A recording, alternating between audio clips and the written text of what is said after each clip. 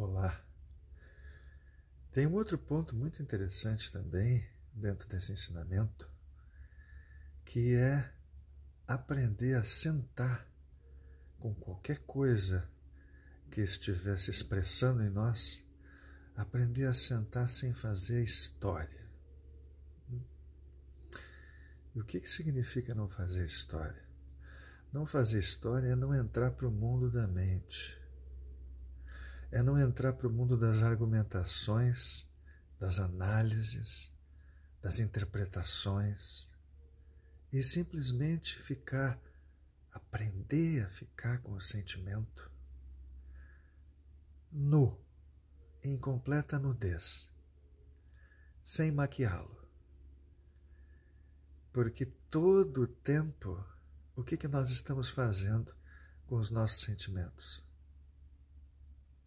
Nós estamos interpretando de acordo com a nossa mente, que é o passado. Então, nós então, estamos interpretando o momento, a experiência presente com o passado, com os instrumentos do passado, que é a memória. Para que a gente possa olhar, sentir, penetrar profundamente no agora, a gente precisa questionar todos os sentimentos, o que que eles realmente são agora, sem nenhuma história. Sem nenhuma história. Sem usar o pronome eu em primeiro lugar eu fiz isso, eu fiz aquilo.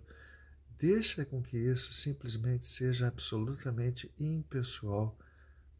Não tenha interesse em entrar para dentro de uma história que tu fizeste, que tu pensaste, etc, etc. Só senta com aquilo. Só senta com aquilo.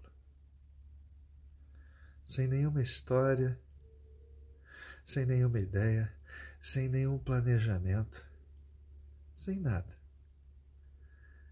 E deixa com que esse sentimento que estiver acontecendo te mostre o ensinamento que tu precisa naquele momento.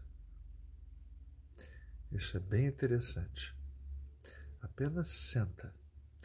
Senta com o que estiver acontecendo e não faz nada e espera.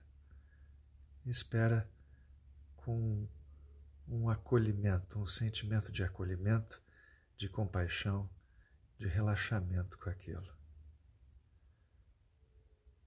É incrível os desdobramentos disso.